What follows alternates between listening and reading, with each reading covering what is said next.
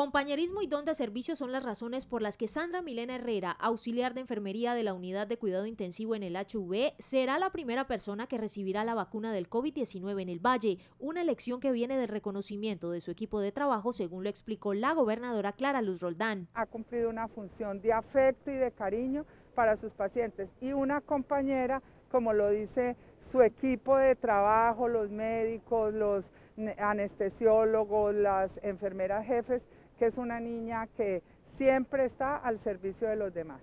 Su trabajo en la primera línea de atención de la pandemia ha ido más allá de las labores propias de una auxiliar de enfermería. Esta mujer de 36 años es la mano amiga de los pacientes que, aislados en la UCI, batallan contra el virus. Una mujer que ha entregado su labor y su servicio no solo a cumplir una función, sino a llevarle a los pacientes amor, cariño, tranquilidad, que es lo que se necesita en una unidad de cuidados intensivos, porque recuerden que una vez entramos a la unidad de cuidados intensivos no volvemos a ver ningún familiar, no hay forma de que nadie nos visite, entonces ella no deja de llevarles el celular, no, deja de llevarles a través de una tablet a los pacientes un mensaje de su familia. Sandra Milena cumple dos años trabajando en la UCI del Hospital Universitario. El próximo jueves 18 de febrero su nombre quedará inscrito en la historia como la primera integrante del personal médico vallecaucano que tras un año de enfrentar la pandemia recibirá la vacuna anti-COVID.